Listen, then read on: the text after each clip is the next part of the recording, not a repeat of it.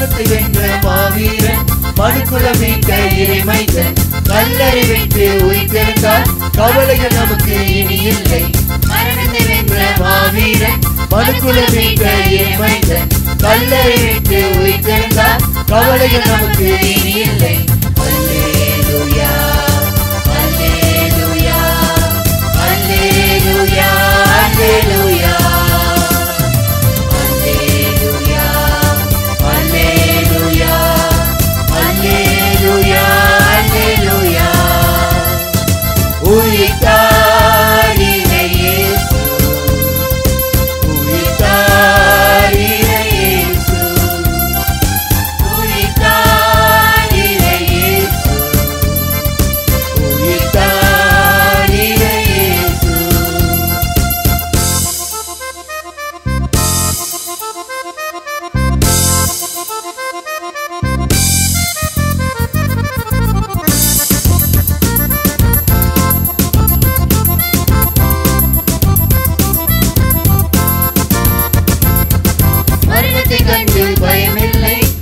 ஆண்டவரன் இயேசு உயிர்த்து விட்டார் வேயின் தலையை பிடித்து விட்டார் விளக்குகள் எல்லாம் போக்கி விட்டார் மரணத்தை கண்டும் பயமில்லை மாபரன் இயேசு உயிர்த்து விட்டார் வேயின் தலையை பிடித்து விட்டார் விளக்குகள் எல்லாம் போக்கி